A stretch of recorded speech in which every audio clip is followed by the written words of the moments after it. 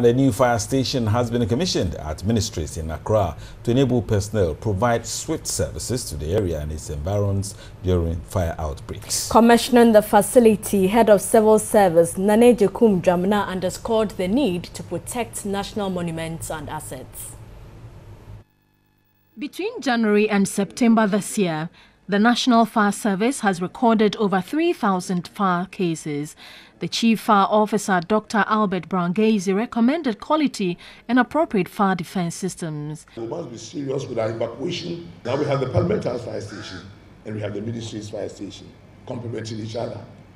And what is the most essential aspect we consider is that this place is closer to the Electoral Commission, where in case of emergency they can respond to, as well as that of Parliament House.